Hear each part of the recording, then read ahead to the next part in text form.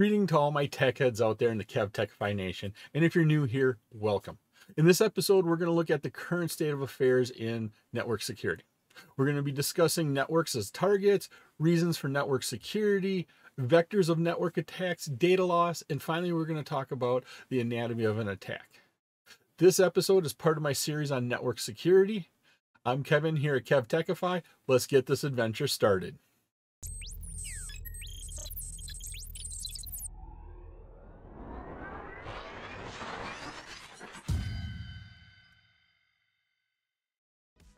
Section 1 Current State of Affairs. Networks are always under attack. They, they, they, routinely get attacked by all sorts of different people, devices. Quick internet search for network attacks, you're going to get a lot of articles back. One of these, typically that come in the top, is Kaspersky's Cyber Threat Real Time Map. What Kaspersky does is they have all of their products, and when one of their products get attacked or, or they notice something going on, they report back. This generates this real-time map. Now, this helps them decide where the attacks are coming from. They, that allows them to alert other products in their suite to give you a full defense.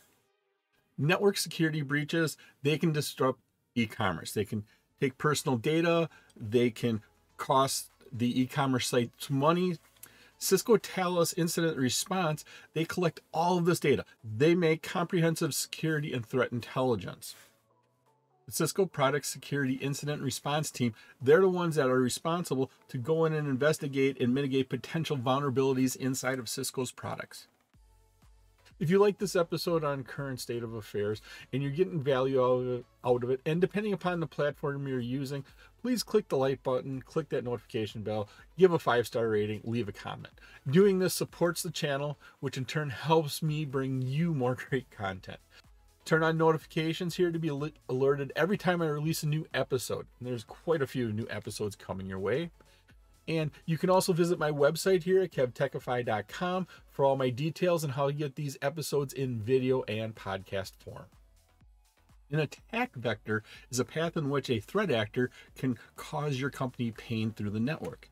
Now, it can be external and they can come from the internet, they can be internal, they can disrupt network operations, they can even create a denial of service attack. Data loss can happen at many points on your network email, and social networking, this is the most common vector for data loss. Now, this includes instant messaging software and social media sites. Let's think about it.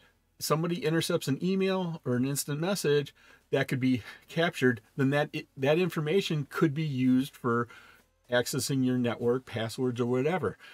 And most of these are not sent in encrypted. Most of them are sent in clear text.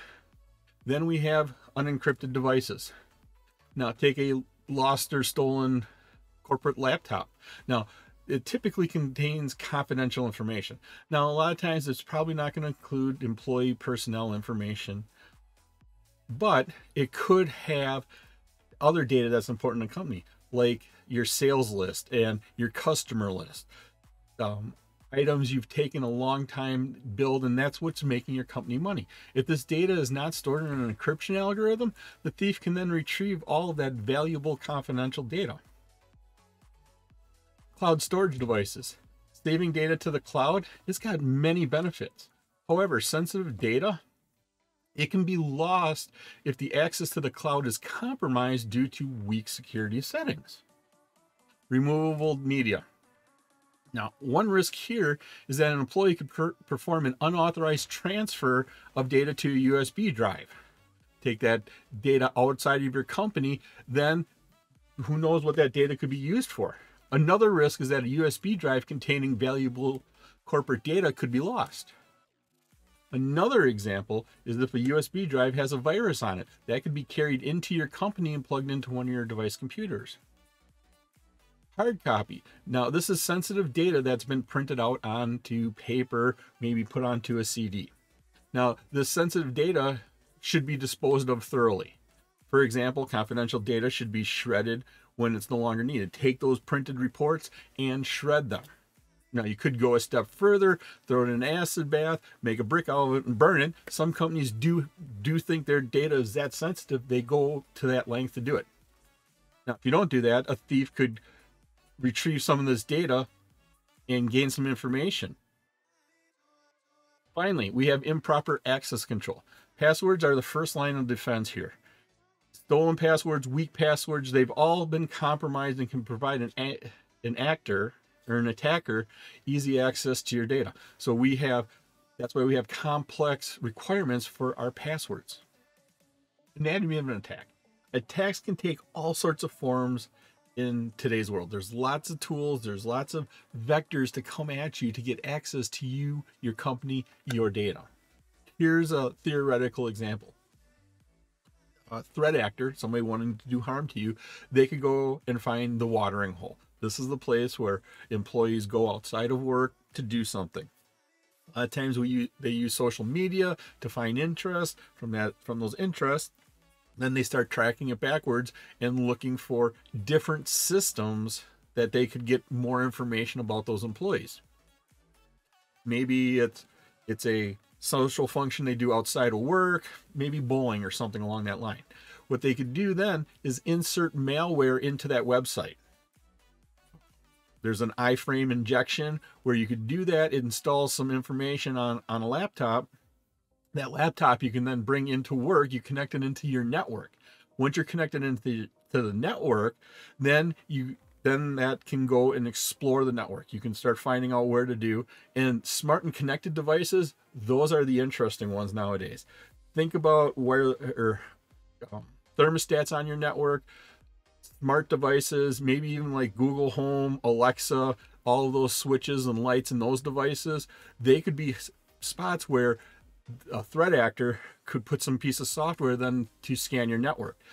You start exploring your network, find something of value, and then lock the systems down. You could sell data to somebody who would buy it from you. Typically, you sell in Bitcoin or something along that line, or just lock that system down and don't allow them access until they pay you a ransom. It was my pleasure to provide you with this wonderful episode on current state of affairs of network security. If you like this episode on current state of affairs of network security and you got value out of it, and depending upon the platform you're watching on right now, click the like button, click that notification bell, give a five star rating, leave a comment. This all helps me bring you more great content. Please take a minute to subscribe to this channel and turn on notifications. That way, every time I post a new episode, you'll get notified, and there's a lot more new episodes coming your way.